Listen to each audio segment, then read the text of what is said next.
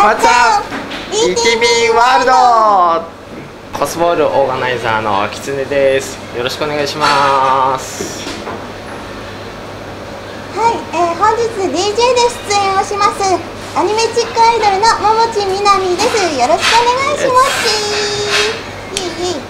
コスボールを始めたきっかけみたいなのがあったんですけど最近今年1年ぐらいかなアニソンイベントがすごい増えてて週に3回なんで月にも12個とかあって、まあ、それでもいろんなところもやっぱお客さんもこう減ってで DJ は増えるけどでも色はあんまり変わらないかなっていうとこがあったんでやはり自分がここもう1年ずっとアニソンイベントもう月にも8本とか自分いろんなところで出演してって見てってこの人は盛り上げられるとか。この人はもうこういったところっていうので自分の視線から見て絶対この人なら安心できるっていう DJ さんをと VJ さんを呼んでのイベントですね。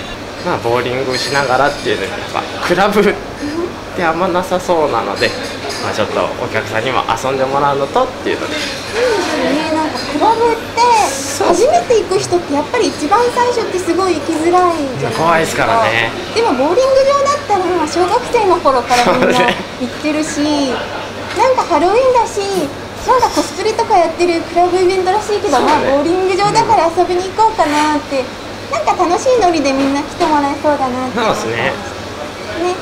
こっちはもうお客さんに全部を楽しんでほしいっていうところですね、音からフードからなんやかんやからっていうのがね。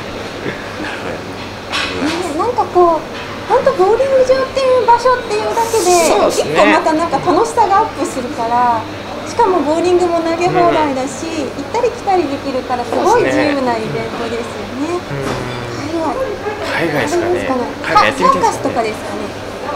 サーカス？海外広いですからね。あの移動式遊園地とかあるとこあるじゃないですか。ああいうのでやったら遊園地で楽しいし、なんか自然も自然？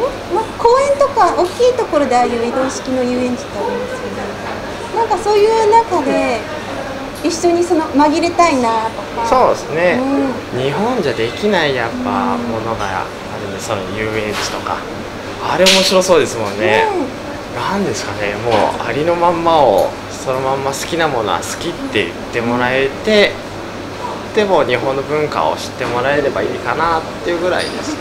こういうカルチャーを通じて新しい仲間とか友達とかできるのもすごい素敵なことだと思うからあのぜひお友達になりましょう。